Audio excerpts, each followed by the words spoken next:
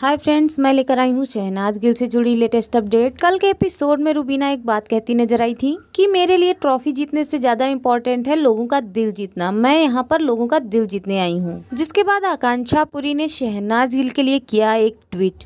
क्योंकि शहनाज ने ट्रॉफी भले ही नहीं जीती, लेकिन उन्होंने सभी का दिल जीत लिया अपने अंदाज से। तो देखिए, आकांक्षा पुरी ने शहनाज के लिए क्या ट्वीट किया? It's true that some people don't need trophy to win a game because They win everybody's heart, which is much bigger than any trophy on this earth. Heart का सिंबल लगाया है और शहनाज गिल को टैग किया है। Shehnaz Gill is a real example of this love this girl hashtag Bigg Boss thirteen hashtag Bigg Boss fourteen तो आकांक्षा ने यहाँ कहा है किसी भी गेम की ट्रॉफी को जीतने से ज़्यादा बड़ा है लोगों को दिलों को जीतना। जिसका रियल एग्ज़ाम्पल है Shehnaz Gill love this girl Akanksha Puri जहाँ बिग बॉस 13 के दौरान भी शहनाज की कई बार तारीफ़ करती नज़र आई थी, वहीं उन्होंने जहाँ दिल जीतने की बात आई, फिर से शहनाज गिल के लिए किया ये ट्वीट क्या कहना है आपका इस बारे में? कमेंट करिएगा, और अगर वीडियो अच्छी लगी हो तो वीडियो को लाइक और चैनल को सब्सक्राइब करना बिल्कुल मत भूलिएगा।